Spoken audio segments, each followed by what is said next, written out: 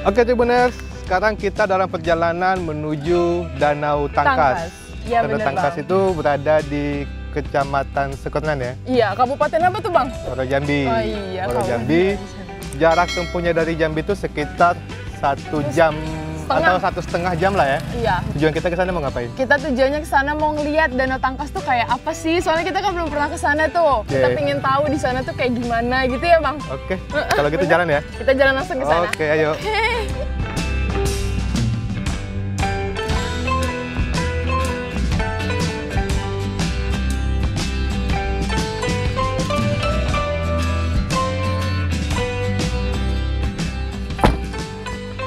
Oke guys, kita udah sampai di Danau Tangkas. Oke, sekarang kita ekspor dulu Danau Tangkasnya ya.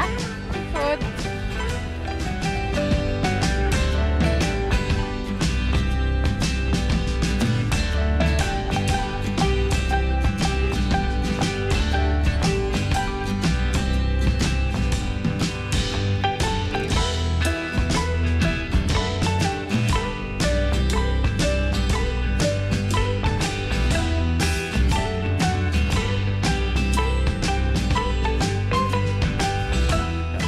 Oke, kita sekarang dalam penyeberangan ke pulau namanya Pulau Tepus.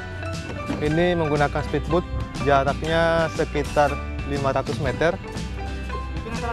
Dan yang asiknya, konon kabarnya adalah bagaimana mengeksplor suasana yang ada di Pulau Tepus sana. Jadi bagaimana keseruannya ya, terus ikutin ya.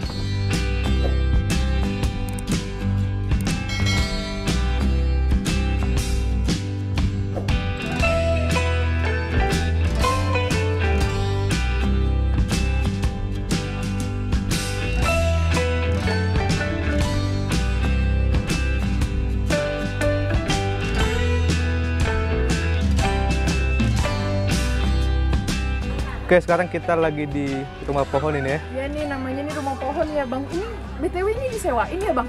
disewain tapi kalau di sini kita pandangannya jadi luas banget ya terus di sini orang-orang yang lagi ngumpul yang lagi bersantai bersama keluarga umumnya keluarga ya keluarga sama pasangan kayaknya Iya lagi rekreasi semua Lagi rekreasi. keluarga. terus di sana ada kayak aula gitu Bisa orang bisa karaokean ya. Ah. udah tuh udaranya juga sejuk banget ya Ah, ah,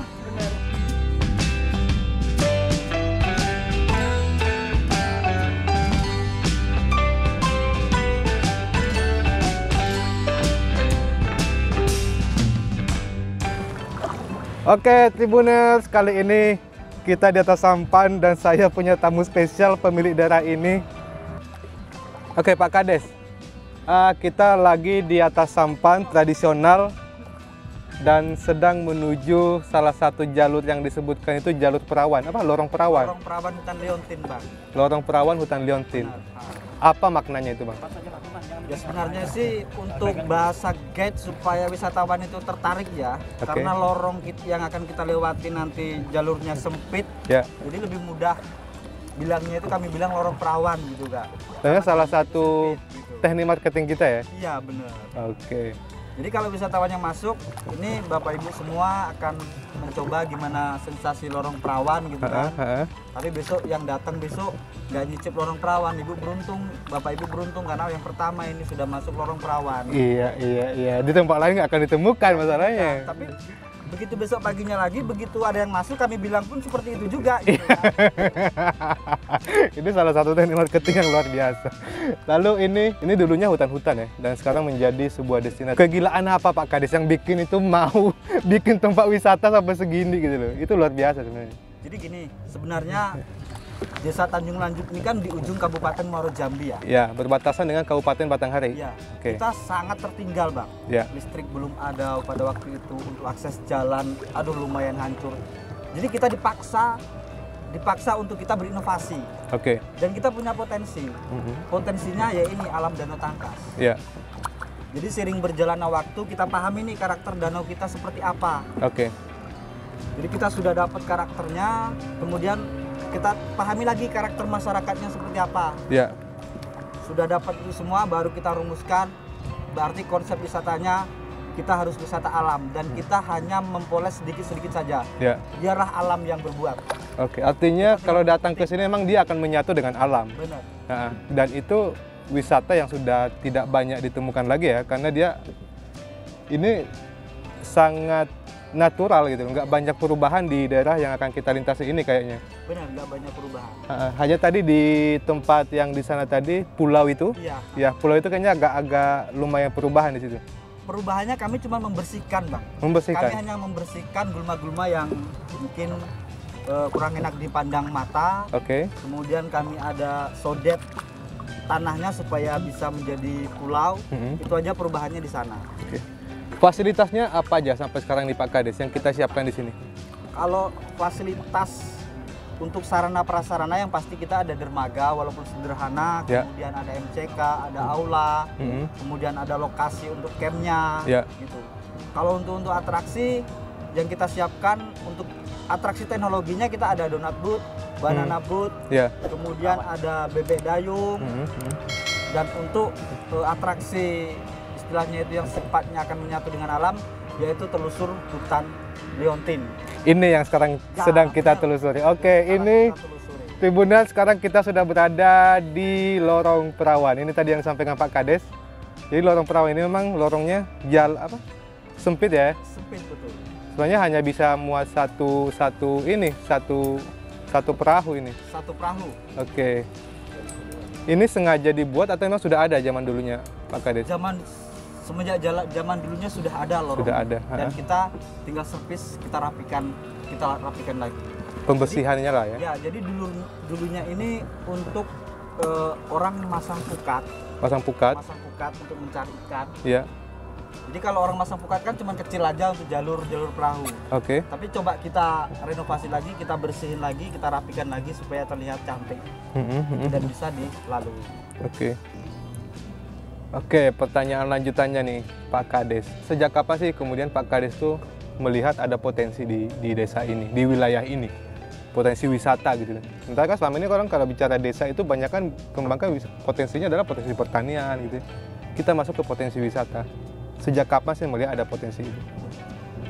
Yang pasti saya lahirkan di sini, Mas. Oke. Jadi Danau Tangkas ini dulu sebelum ada nama Danau Tangkas, Ya, itu orang bilangnya masih apa namanya itu lopak gitu. loh Pak. Jadi dari kecil tempat main kita, tempat mandi, tempat cari ikan itu Ya. dari kecil gitu. Di sini. Ya, Oke. setelah tumbuh tumbuh dewasa, pulang dari Jawa, saya kan besarnya di Jawa. Ya.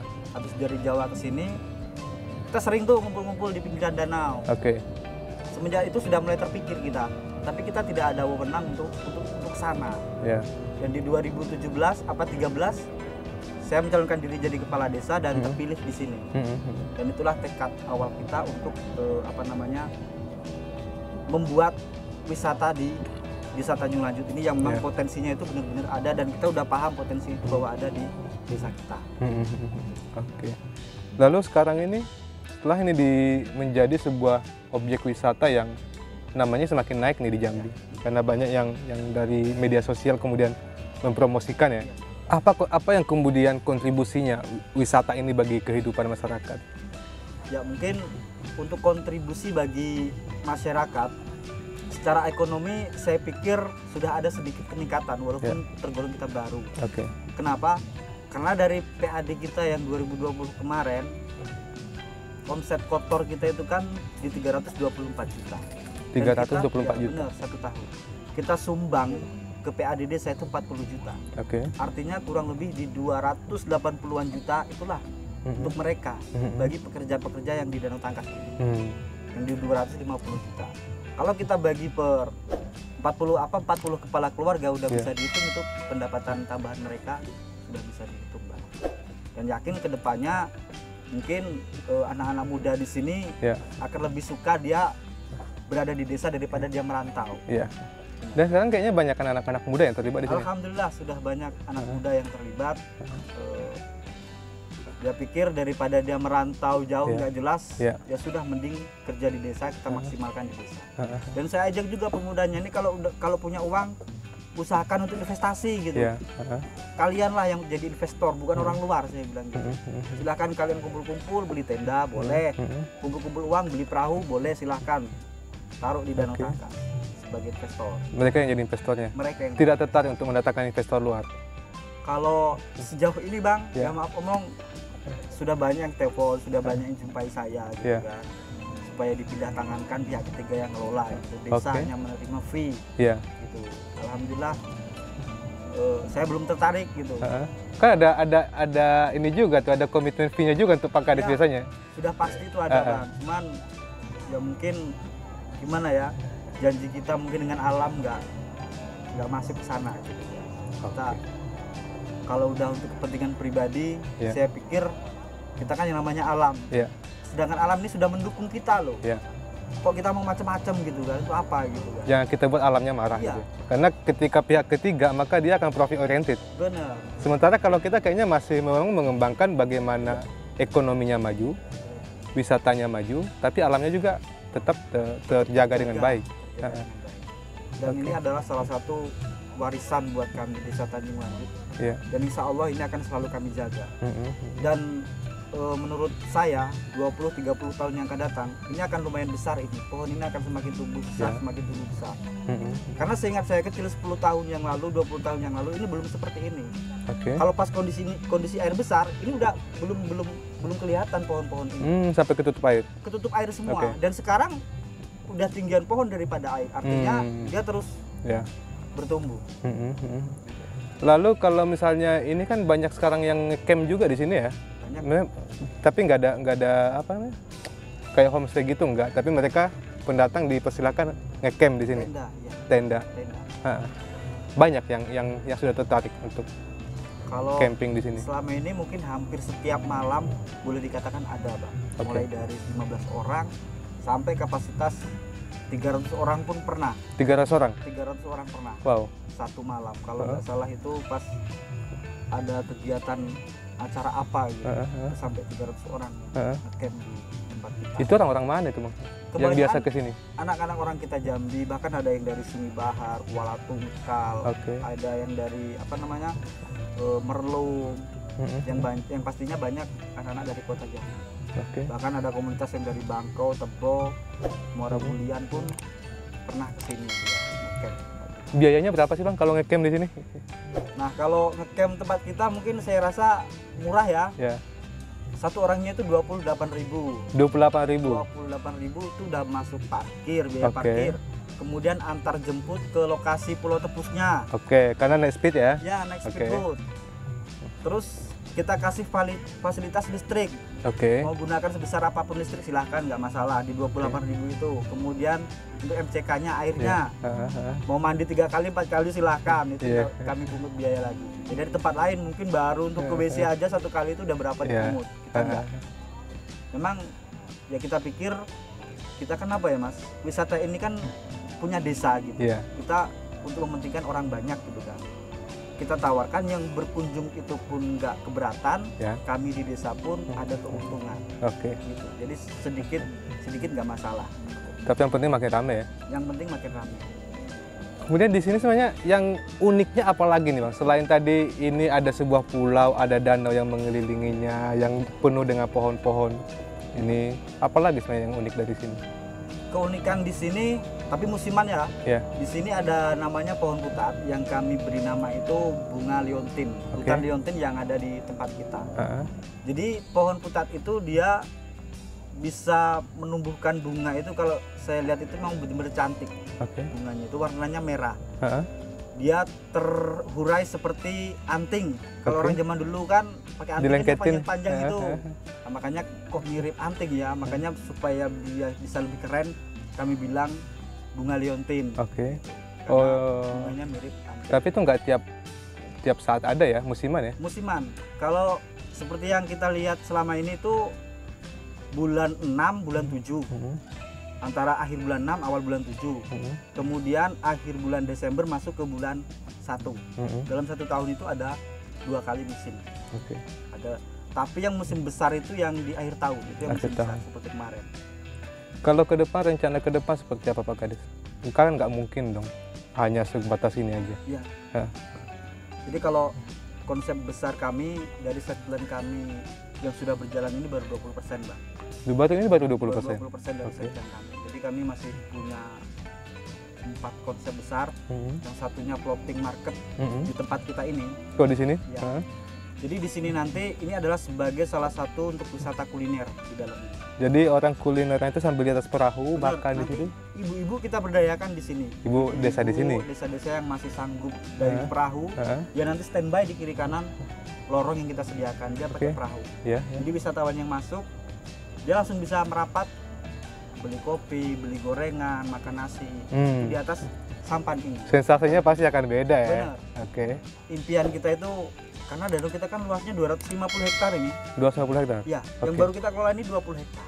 Oke. Alangkah sayang wisatawan kalau tidak mengelilingi yang luasnya danau seluas eh, 250 hektar yang karakternya seperti Amazon. Hmm, hmm. Konsep kita akan kita buatkan kapal layar, Bang. Hmm. Kapal layar desainnya itu kayak desain kapal bajak laut yang memang betul-betul udah lusuh kayak udah bekas perang lah gitu. Iya, iya, iya. iya.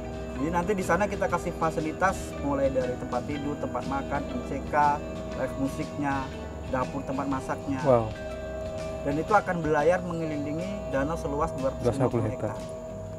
Konsepnya memang out of the box ya. Tidak tidak mengikuti tren yang sudah ada di daerah-daerah lain, tapi dia mengembangkan sebuah mm, seni sendiri Seni sendiri sesuai dengan karakter. sesuai dengan karakternya, sesuai dengan kearifan lokalnya. Oke itu dulu ya. Nanti kita akan lanjut lagi Oke, nih kita perbincangan kita.